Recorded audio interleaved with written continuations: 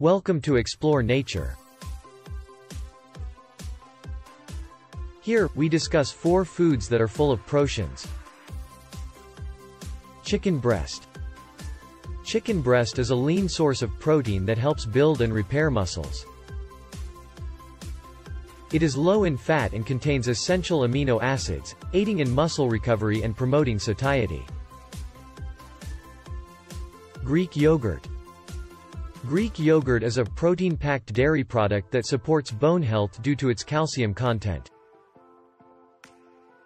It also contains probiotics, which promote gut health and improve digestion.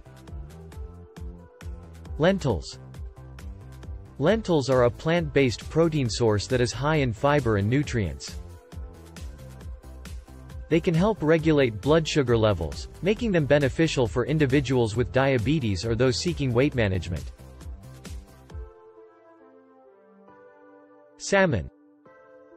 Salmon is a fatty fish rich in omega-3 fatty acids and high-quality protein.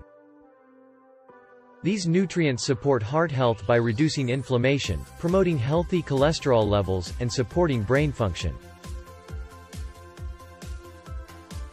Thanks for watching.